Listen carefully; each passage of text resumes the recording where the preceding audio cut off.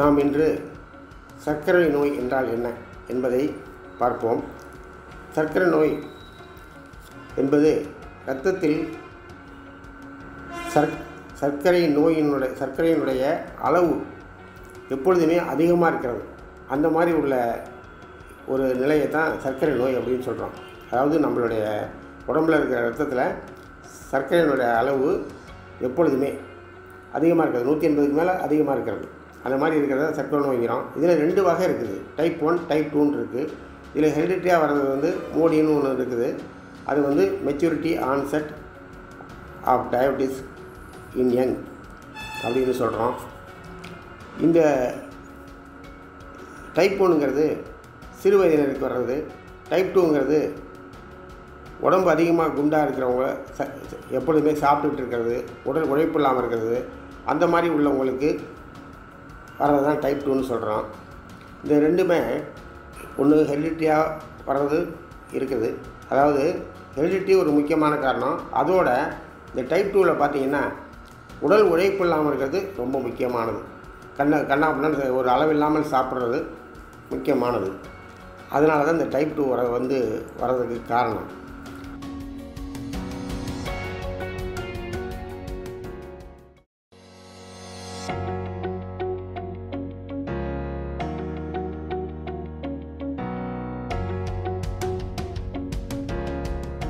நான் இங்கு பதினைந்து வருடங்களாக சர்க்கரை நோய் மருத்துவம் பார்த்து கொண்டிருக்கிறேன்.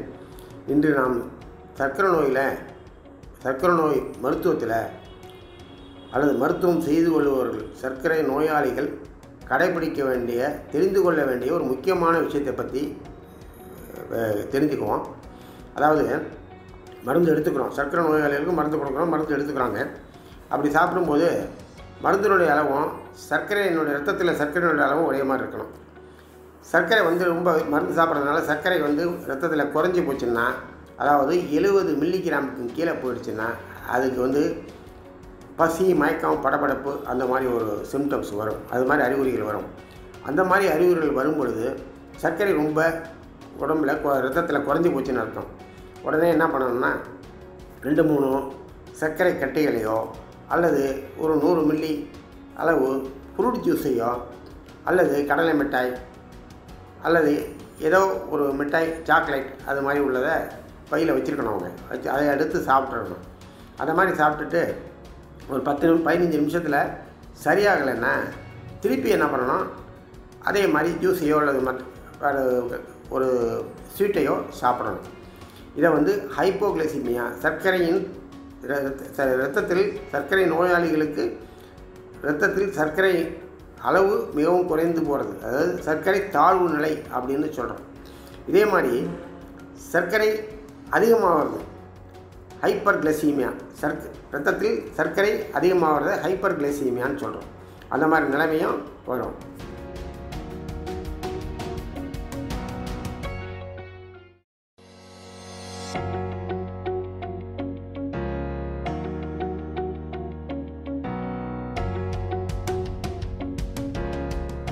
இன்று நாம் சர்க்கரை நோய் ட்ரீட்மெண்ட்டில் மக்க அது நோயாளிகள் எந்த அளவுக்கு அதில் ஒரு பொறுப்பை காட்டுறாங்க அதில் அல்லது அல்லது ஒரு வெறுப்பை காட்டுறாங்க அப்படிங்கிறத பார்ப்போம்.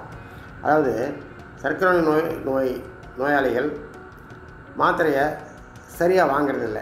என்ன காரணம்னா மாத்திரையோட விலை அதிகம் அப்படின்ட்டு நினச்சிட்டு போய் போயிடுறாங்க. ரெண்டாவது வாங்க முடியாத ஒரு ஏழை அப்படிங்கும்போது அவங்களுக்கு மருந்து மாத்திரையை ஒழுங்காக வாங்க முடியல. கவர்மெண்ட் ஆஸ்பத்திரியில் மருந்து மாத்திரை கொடுக்குறதா இருந்தாலும் அவங்க அதை சரியாக வாங்கி உபயோகப்படுத்துறதில்ல. அதுக்கு என்னென்னா மெத்தனை போக்கு அப்படின்னு சொல்லலாம். ரெண்டாவது அது இதையும் மீறி பணம் உள்ளவர்கள்ட்ட இது ஏழைகளுடைய நிலைமை. இதே பணம் உள்ளவங்கள்ட்ட என்ன நிலைமைன்னா சர்க்கரை நோய் உள்ளவங்களுக்கு பல காம்ப்ளிகேஷன்ஸ் இருக்கலாம். இருதய நோய் சிறுநீரக நோய் மற்ற இரத்த குழாய் நரம்புகள் நோய் இந்த மாதிரி இருக்கலாம். அந்த மாதிரி இருக்கும்போது பல மாத்திரைகளை சாப்பிட்ற மாதிரி வரும்.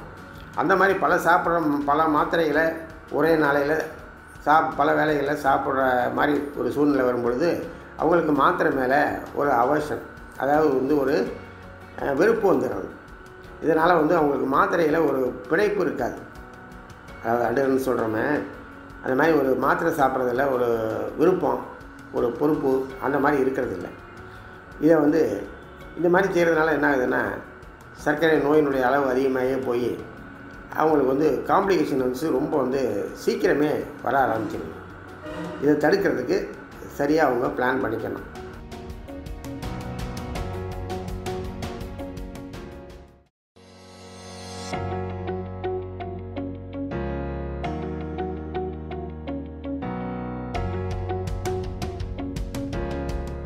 பெண்களுக்கு வரும் சர்க்கரை நோய் பற்றி பார்ப்போம்.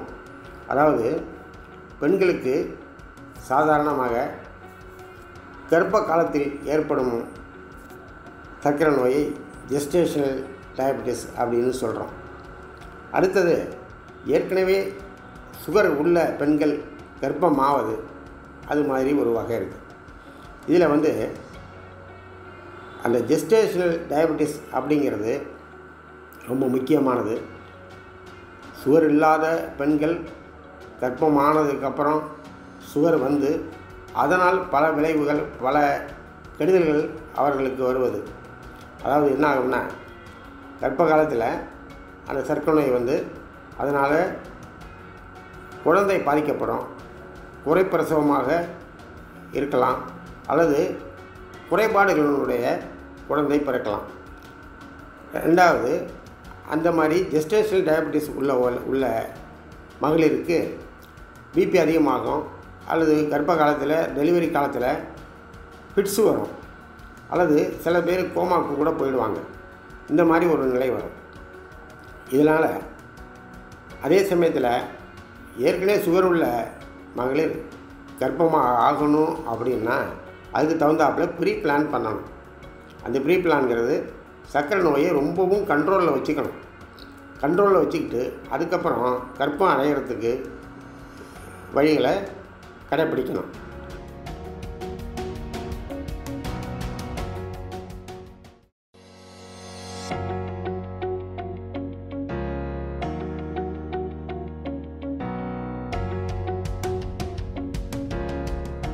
இன்று நம்ம சர்க்கரை நோய் வர்றதுக்கு முக்கியமான காரணம் என்னங்கிறத பார்ப்போம். அதாவது செடன்டரி லைஃப் அப்படின்னு சொல்லுவாங்க. அதை சாப்பிட்டு சாப்பிட்டுட்டு உட்காந்துருக்கிறது எந்த வேலையும் செய்யாமல் அப்படியே உட்காந்துருக்கிறது சாப்பிட்றது தூங்குறது எந்த விதமான நடை இல்லாமல் தூங்குறது. இந்த மாதிரி இருக்கிறவங்களுக்கு சர்க்கரை நோய் வந்து இது வந்து சீக்கிரமே வந்துடும். அப்படியே வந்துட்டாலும் அதனுடைய தாக்கம் அதிகமாகும். அதனால் ஒரு சர்க்கரை நோய் வ- வராமல் இருக்கிறதுக்கு ஒரு வழி இந்த லைஃப் ஸ்டைல் மாடிஃபிகேஷனுங்கிறது அதாவது டெய்லி ஏந்திரிக்கிறது ரொம்ப சுறுசுறுப்பாக இருக்கிறது நடை நடைப்பயிற்சி பண்ணுறது சாப்பாட்டை ரொம்ப குறைச்சி சாப்பிட்றது. இதுதான் நம்ம லைஃப் ஸ்டைல் மாடிஃபிகேஷன் சொல்கிறோம் இந்த மாதிரி பண்ணும்போது என்ன பண்ணுதுன்னா சர்க்கரை நோய் வர்றதை தடுக்கலாம். சர்க்கரை நோய் வந்தவங்க இதை ஃபாலோ பண்ணால் சர்க்கரை நோயிலிருந்து ஓரளவு அதனுடைய காம்ப்ளிகேஷனை தடுக்கலாம்.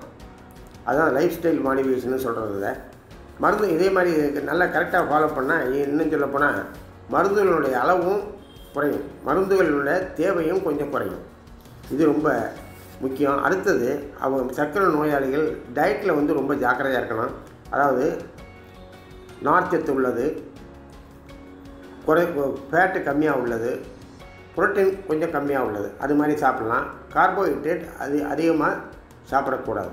இந்த மாதிரி ட டயட்டில் வந்து அவங்க ரொம்ப ஜாக்கிரதையாக இருந்தாங்கன்னா சர்க்கரை நோயினுடைய அளவு ரத்தத்தில் ரொம்ப கம்மியாக வச்சுக்கலாம். சர்க்கரை நோய் அதனால் வர்ற பாதிப்பை ஓரளவு நல்லபடியாக கட்டுப்படுத்த முடியும்.